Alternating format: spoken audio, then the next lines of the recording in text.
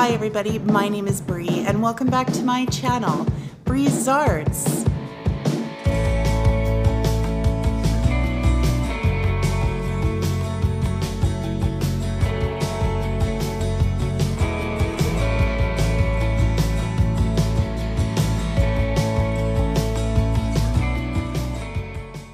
So today's video is super exciting for a couple of reasons. The first reason is that it's sponsored by Skillshare. Now I will be talking about them a little bit later in the video, but right now the projects that we are doing are decoupage. You guys know that I absolutely love to decoupage. And one of my amazing subscribers, her name is Joe. Hey, Joe.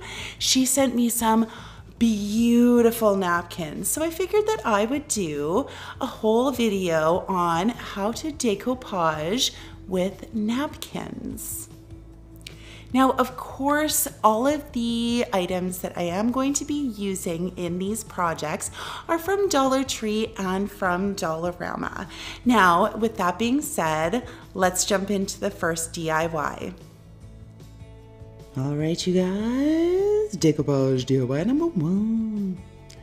All right, taking one of these little hexagon decor pieces from the Dollar Tree, I am just going to take off this little blessed wording. I'm just using my scraper. Um, I'm pretty sure I got it at Walmart, maybe? I'm not sure. It's old. I've had it for a really, really long time, but it is so useful. I know that you can get something like that at the Dollar Tree as well. So it comes off really, really easily, and you can see here that I taped off the inside of that hexagon, and I am painting it with my absolute favorite color, Nantucket Blue. Oh, I love this color. It is so so pretty, isn't it? Isn't it gorgeous? My absolute favorite. And then very, very carefully, I am just going to paint the inside of this hexagon with white chalk paint by Folk Art. Um, I only needed one coat for this. This is just to go under my napkin so that you don't see any of that orange color poking through. Now look at this napkin, you guys. Isn't it absolutely gorgeous? Can you believe that anyone would wipe their face with this napkin? like, that just seems like a crime. it's so, so beautiful. This is one of the ones that Joe sent me. And so, what I'm doing, I'm just taking the layer of like white, I guess, um, off of the bottom and I'm just going to trace out the shape of this hexagon on the napkins. So of course, I there's about, what would that be, about a quarter inch um, that would account for the frame. So I just traced it out and then I put little dots on uh, that I'm going to connect while I'm cutting it out. Now, I didn't measure it. This is not perfect, like completely perfect but um, you can always cut it down just a little bit. Uh, having some of that white show on the border, that's really not a big deal. You don't re even really notice it if that happens. So I just cut it down and you can see here I did not get it perfect the first go around. So I'm just making a little bit of a crease there where the, the cut needs to be made. You see just like that with my fingernail. This is real professional, you guys. Jeez Louise. And so there, there, fits perfect. Awesome. There we go. Good job, Bree. Good job. and of course, to decoupage, you need some Mod Podge. So I do put like a solid layer down and I just kind of go along like a little bit at a time. Add some more Mod Podge, pat it down, do not rub it, just pat it down, and then complete it all the way to all of the edges. Pat, pat, pat, you see? There we go. And then of course we are going to go over top of the napkin with another layer of decoupage, just so that air, with Mod Podge. just to make sure that it's all secured down. Isn't that so pretty? This is so easy, you guys, and it's so easy to make things beautiful when you have beautiful things to work with. Like these napkins are stunning. So, so beautiful.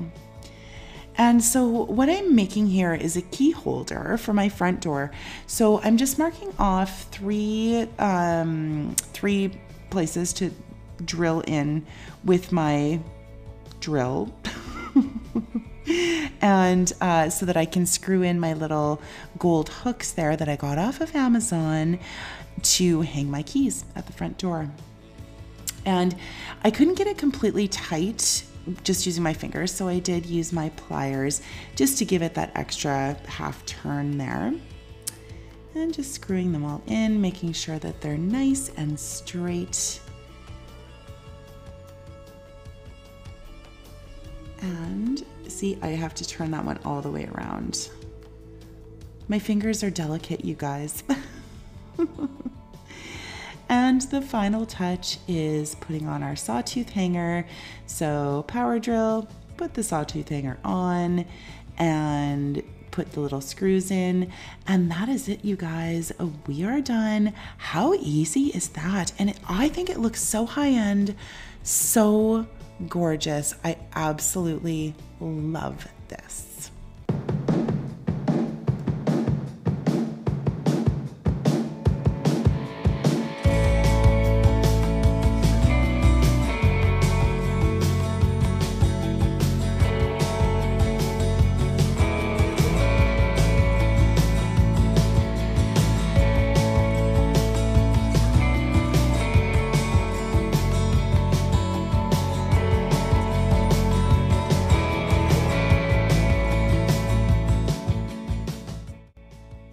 Okay, guys, and now a word from our sponsors, Skillshare.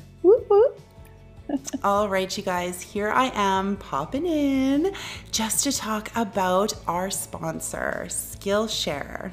Skillshare is an online learning community with thousands of classes for creators.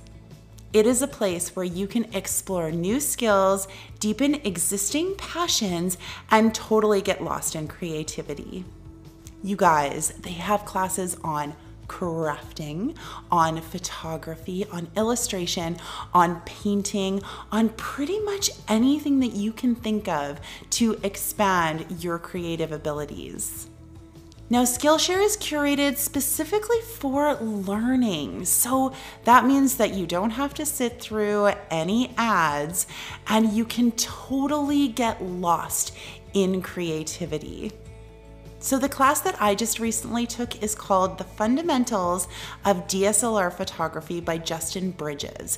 It took about an hour and a half to go through the entire class, and I will tell you that I learned so much about the ins and outs of my camera. I've totally improved the way that I take photos. I have a new lens as well, and these photos of my daughter on her graduation day came out so well thanks to this class. All right, you guys, the first thousand of my viewers to click the link down in the description box will get a one month free trial of Skillshare so that you can start exploring your creativity. And a huge shout out to Skillshare for sponsoring this video. And with that being said, let's get back into those DIYs. Okay, you guys, decoupage DIY number two. Now, these wooden planks I get at Dollarama. I am going to cut off the bottom here. Snap. Magical. Because I only wanted to use three of those slots. So I'm just taping down the hanger, the twine hanger there, just so it doesn't get in the way. And I am going to paint the whole thing up with my white chalk paint. So, and, and if you don't have a Dollarama, you can absolutely make this out of those wood planks from Dollar Tree and some painter sticks in the back, like super, super easy. I'm just lucky that we have them at Dollarama and I don't have to do that. So now I'm just taking my Parisian gray from Folk Art and I'm just distressing just a titch. Again, always giving it that little extra touch, a little bit more dimension, making it look a little weathered. And now this napkin, again from Joe. It is so beautiful. And I got this little jar from Dollar Tree. And so I'm going to again take the first two plies of the napkin off of, of here, like the white plies. And we are going to measure it out on this jar. So I just rolled it like super simple, not really difficult, you guys. Just roll it up, kind of, you know, mark it off to where, you know, it kind of ends, and then rock and roll, cut it down. So again, with our Mod Podge, you can see the thickness of the layer that I do use on there. Like it's generous, but it's not crazy because you don't want to completely saturate the napkin so that it tears. So you can see here, putting it on nice and straight, dabbing it down. Don't rub it really hard because you will definitely tear the napkin. Trust me, I've done it multiple times. And again, just, you know, going around, putting the Mod Podge down, tapping the napkin down all the way around our cute little jar. Like, isn't that napkin so gorgeous. Joe, seriously, thank you so much. You sent me some beautiful, beautiful things to work with. And so I also put some Mod Podge on the bottom of the jar. And you can see here I'm just kind of folding it down, putting some of the Mod Podge over top to secure it and kind of smooth it using my fingers, smooching it down. You know, you know the drill. And then I do blast it with my heat gun to help it dry just a little bit. And it also, when you, when it's, when like the Mod Podge is almost dry, it's a little bit easier to tack down to the glass as well. It's kind of like eyelash glue. You know how you have to kind of wait until it's a little bit dry and then you put your lashes on? kind of the same concept. Okay, put another layer of Mod Podge over top, and then I am just going to put that hanger back onto the jar. So now I'm taking one of those little hooky things. Um, what do they got? Eye hook, I believe. And I just marked the center of that top plank there so that I can put or screw the eye hook into the top plank because that's what the jar is going to hang from. And then I just kind of pry it open with my pliers out of frame and hook the jar on and then pry it back with my pliers. And there you have it. How simple is that? And now taking some of these what are they fairy lights i think from the dollar tree i'm just going to thread that through the bottom seam there, like the bottom space there, and then stuff it into my jar so that the jar lights up. It's gonna be so pretty, you guys. And I just hot glued the battery pack to the back. Make sure that you are hot gluing the side without the screw so that you can actually change out the batteries. And because the battery pack is sticking out a little bit from the sign, I use some of those tumbling tower blocks just to, you know, make up for that on the back so it sits flush on the wall. And that's it. Like, look at that. Oh, I can't wait till you see it all lit up, you guys. Oh, it's so pretty.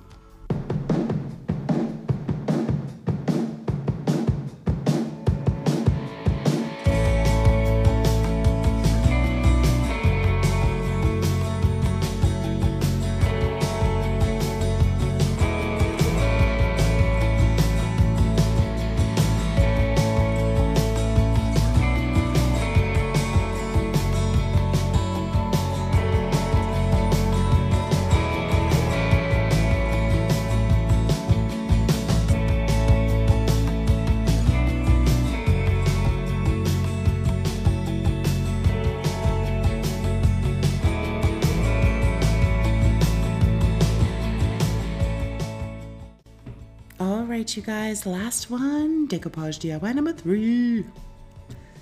Okay, so taking this really very high quality vase from the Dollar Tree, and I am actually going to be painting the bottom of this white. So I am going to just tape off kind of the neck of the vase in a nice straight line or as straight as possible. And then I'm going to paint the entire bottom of this vase with my white chalk paint. Now, because it's glass, I did have to do three coats because I did want it to be very, uh, very solid, very opaque. And now these napkins I actually bought at Dollarama. I think that they're so super vintage. Like how beautiful. I cannot believe how many gorgeous napkins there are out there.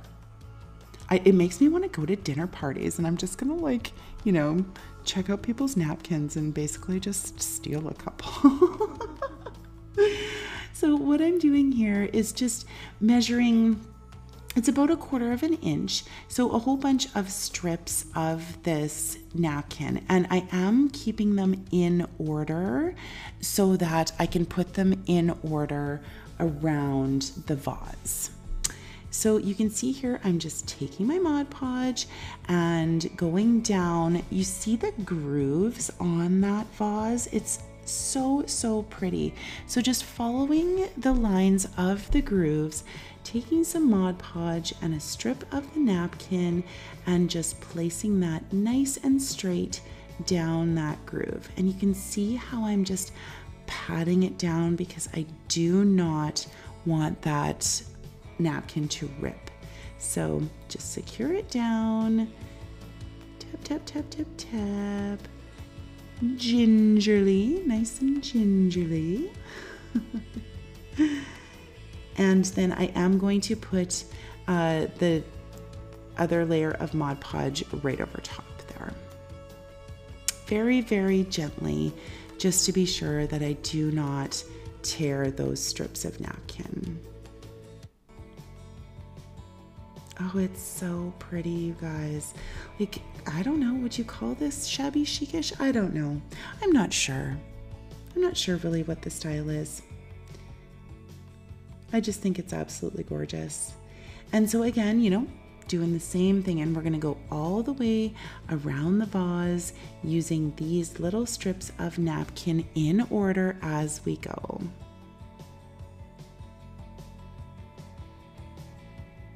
And you can do this with any napkins, you guys. You can cover the whole thing if you wanted to with a napkin. I just really wanted to have that little bit of contrast between the white paint and that beautiful vintage pattern that's on that napkin there. And it seems I'm going to show you quite a bit of this. Tap, tap, tap. Smooch on the Mod Podge. And there we go. And then, of course, I am cutting off the excess that's going around the bottom there. Geez, I show you guys a lot of this. Do you get the idea? Like, I'm pretty, I'm pretty sure you guys got it by now. oh my goodness. There we go. And then around that tape at the top, I'm just taking my X-Acto knife and cutting off the excess around the top so that it is nice and straight and so that when I remove the tape that I don't accidentally pull up any of the napkin that's actually Mod Podge down there. So there we go. Now taking some uh, macrame cord that I got off of Amazon, I'm just going to glue that around the top just to kind of hide that seam there and to give it that final touch on this vase. So I went around twice and this the second time that I go around there, I'm just going to tie it in a knot and it's kind of like dangling down a little bit further. You can see there. So now I am going to take a few of the beads that I got in a great big huge package from Dollarama. Beautiful beads. I've actually seen these beads, I think at Dollar Tree potentially. I'm not sure, but these come in a huge package at Dollarama for like four bucks. It's crazy. It's such a good deal. And so I put five of those on, didn't paint them, didn't do anything with them. Very, very natural looking. I didn't want to take away from the beautiful pattern of that napkin. I just kind of wanted to give it, you know, a little bit of an extra touch, of course. And then just cutting off the excess fraying the edges, and that is it, you guys. I just think this is absolutely stunning. So, so beautiful.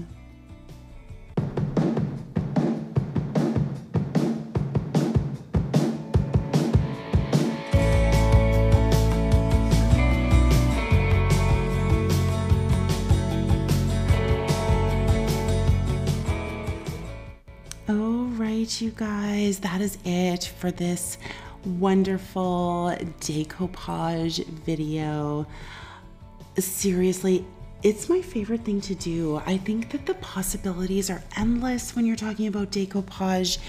You can use napkins, tissue paper, any kind of pattern paper. You can actually get decoupage paper as well. I've looked on Amazon, they have gorgeous patterns. Like, again, possibilities are endless. So, thank you so much to Joe for sending me these beautiful napkins. I appreciate you so much. And thank you to Skillshare for sponsoring this video. Make sure you check out the link down in my description box. I also have a buy me a coffee link down there if you wanted to contribute to my channel and help me bring you more DIYs. And if you like what you see, do me a solid tap that like button, maybe subscribe, tell your friends, you know, all of that jazz. Stay tuned for the gag reel. Bye, guys.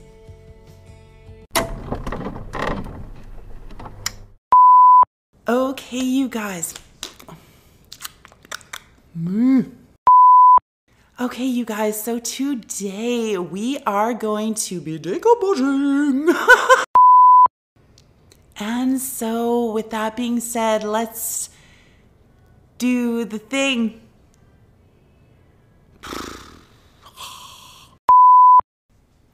Get your decoupage on, my peeps. All right, you guys, the first thousand people who click the link down in my.